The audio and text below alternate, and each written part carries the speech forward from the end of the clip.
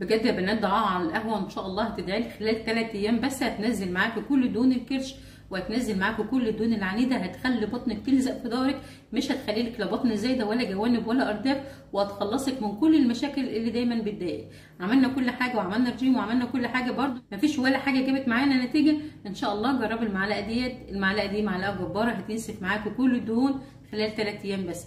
حط لايك ويلا بينا نشوف الوصفة دي عملناها إزاي. السلام عليكم ورحمة الله وبركاته. ازيكم يا بنات؟ يا رب تكونوا بخير وفي أفضل حال. النهارده إن شاء الله هنعمل مع بعض وصفة من أفضل وأحسن الوصفات.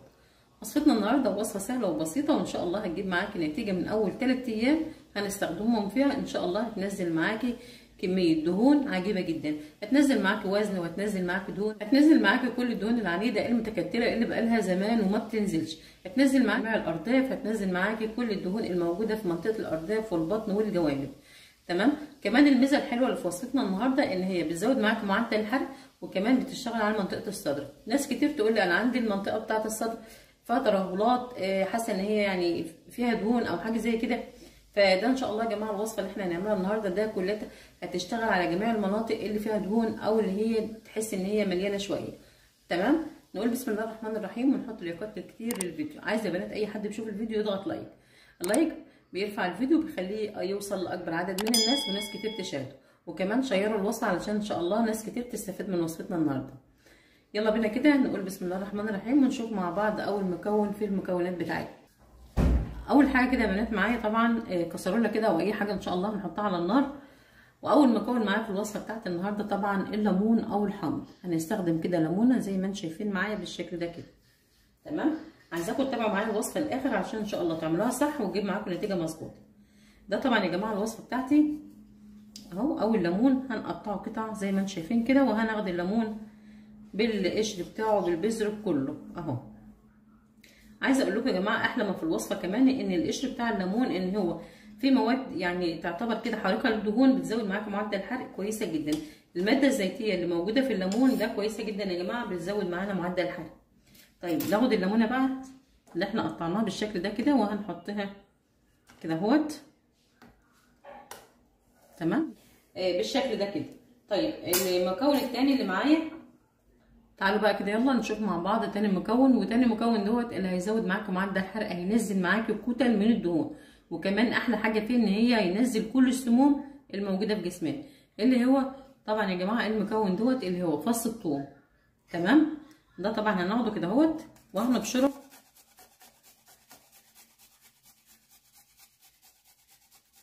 بالطريقة دي كده اهو. دي كده خلاص بشرناه اهوت وهننزله دلوقتي. اهو.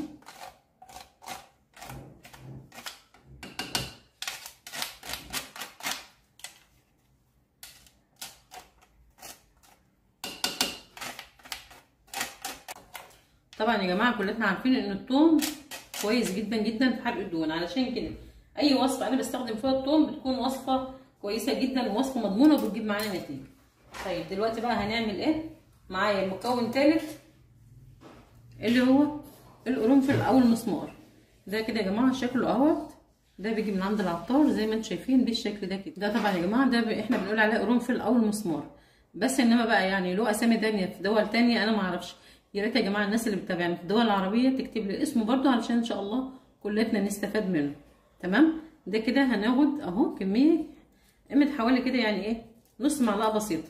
بصوا بالشكل ده كده. مش هنكتر لأن كتر يا جماعة برده هيقلب عليكي بنتيجة عكسيه فالأحسن إن إحنا ناخد نص معلقة صغيرة يعني حوالي خمس ست حبايات كده أهوت أو بالمقدار ده كده. ما نكترش. هنعمل إيه دلوقتي؟ هننزل عليهم بالمية المغلية كوبايتين مية مغلية. أنا حطيت مية مغلية. تسهل عليها الغليان ده كده يا جماعة المكونات جهزت معايا. أنا حطيت مية مغلية علشان تسهل عليا إيه الغليان كده كده إحنا لسه هنحطها على النار تغلي معايا. حابة تحط مية من الحنفية؟ مفيش مشكلة. هنغطي عليها بقى. أهم حاجة الوصفة اللي أنت بتعمليها لازم تغطي عليها. دلوقتي هنغطي عليها ونسيبها كده حوالي خمس دقايق على نار هادية. ده كده يا جماعة الوصفة دلوقتي غليت معايا اهيت وبقت جاهزة. شايفين؟ بقت عاملة إزاي؟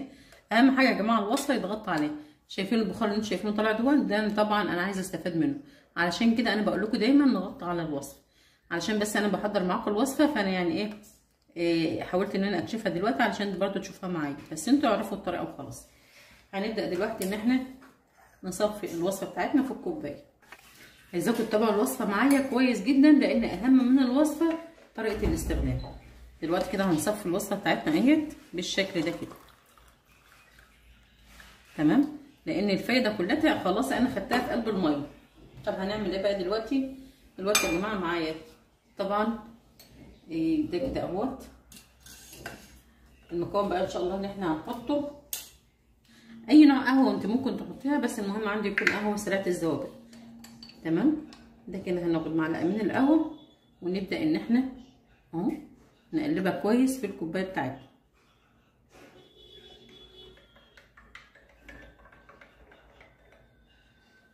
لغاية ما تبوش معايا خالص زي ما أنتم شايفين بالشكل ده كده.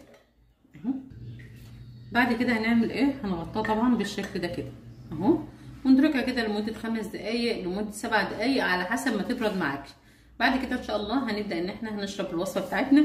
ولو أنتوا حابين تحطوا عليها معلقة عسل نحله أو نص معلقة يا جماعة مفيش أي مشكلة خالص. تمام؟ طيب دلوقتي الكوباية جهزت معايا بقت بالشكل ده كده اهوت